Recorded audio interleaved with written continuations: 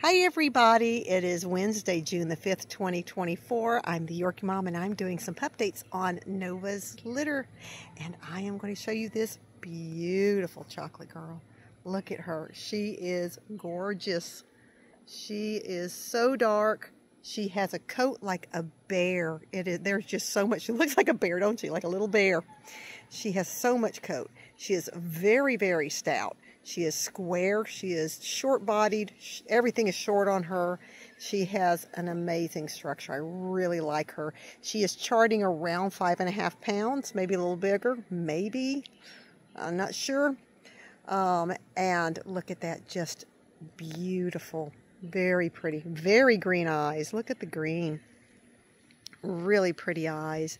Really pretty face. Everything on her is perfect and she is available.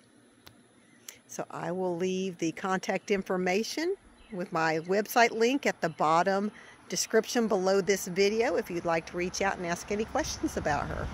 And there she is. Bye-bye.